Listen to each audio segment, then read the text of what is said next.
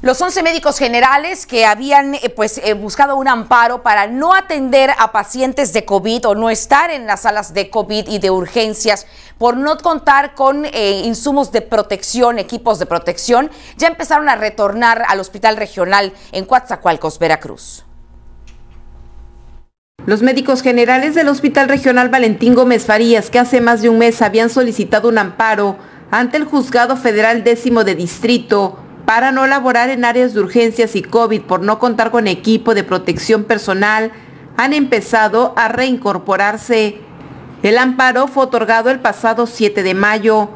El representante sindical de los trabajadores, Juan Pablo Sosa González, dijo que al llegar a acuerdos con la institución es que han desistido de los amparos. Eh, al final resultaron eh, que eran 11 trabajadores, 11 compañeros médicos generales los que se ampararon aproximadamente hace una semana este, se reincorporaron dos de ellos que se desistieron ya al amparo por llegar a acuerdos con la institución.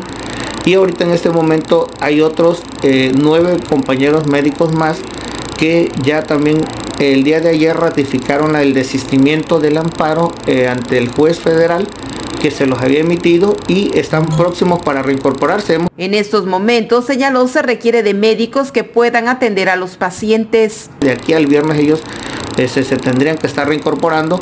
Al igual hemos platicado con las autoridades del Hospital Regional de Coatzacoalcos para que ellos lo puedan hacer eh, a la brevedad posible y que puedan coadyuvar para este, atender a los pacientes en esta contingencia. No se ha dejado de atender, se ha seguido atendiendo. Obviamente ellos como médicos vienen y se suman también para seguir atendiendo tanto en urgencias como en áreas COVID. La disposición de trabajar por parte de los médicos existe. El reclamo que estaban llevando a cabo era que les dotaran del equipo de protección personal, además de que un médico especialista entrará con ellos para hacer equipo y atender a todos los pacientes con COVID en esas áreas. En la Cámara Luis Román, Graciela Gómez, Noticieros Televisa.